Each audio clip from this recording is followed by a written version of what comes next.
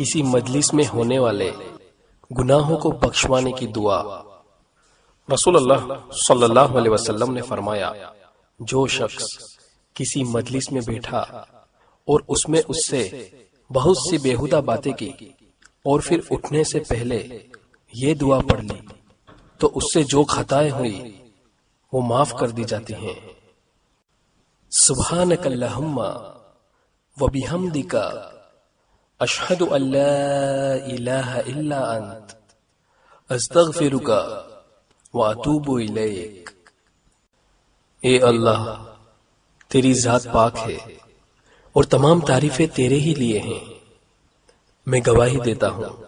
कि तेरे सिवा कोई माबूद नहीं और तुझसे मगफिरत माँगता हूँ और तेरे सामने तोबा करता हूँ जामे तिरमिजी